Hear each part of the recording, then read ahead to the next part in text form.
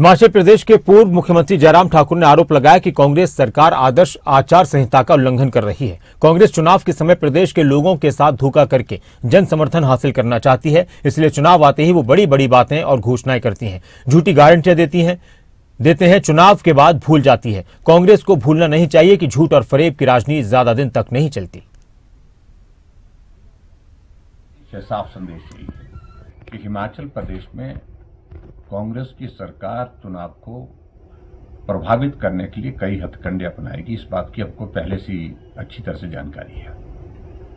और इसी सिलसिले में जो इलेक्शन कमीशन ने अभी कार्रवाई की, हालाँकि अभी हमने इस संदर्भ में शिकायत की नहीं थी, लेकिन सरकार को जब अच्छी तरह से मालूम है कि उनमें से कुछ अधिकारी, सेक्रेटरी जीएडी सेक्रेटरी जीएडी के साथ साथ में सेक्रेटरी होम आ, वो मुख्यमंत्री कार्यालय का भी काम देख रहे हैं मुख्यमंत्री के साथ अटैच्ड हैं।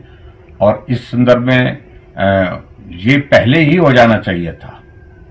लेकिन नहीं किया सरकार ने। और सरकार ने नहीं किया तो चुनाव आयोग ने उसका संज्ञान लेकर के उनके उन पर कार्रवाई की है। और मैं समझता हूँ ये उचित कार्रवाई है। और कांग्रेस की सरकार हिमाचल प्रदेश में चुनाव प्रभावित ना करे। इस संदर्भ में हम भी चुनाव आयोग में आने वाले समय में हर बात को लेकर के जो भी इस तरह के मुद्दे आएँगे, उन पर बात करेंगे। फ़िलहाल हमने सिर्फ़ एक कंप्लेंट की है, जो पंद्रह सौ रुपए महिलाओं को देने की बात के लिए फॉर्म बांटे जा रहे हैं, फॉर्म भरे जा रहे हैं।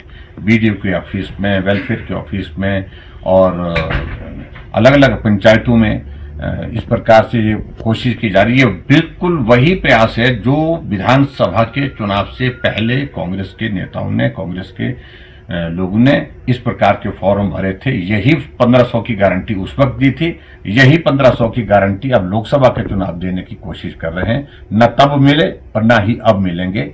इस बात को लेकर के मैं बड़ा साफ़ कहना चाह रहा हूँ और हमने चुनाव आयोग से इस बात के लिए आग्रह किया है। ये वॉयलेशन है मॉडल कोड ऑफ़ कंडक्ट की और इसका संज्ञान लेते हुए तुरंत जो है इसको बंद करना चाहिए।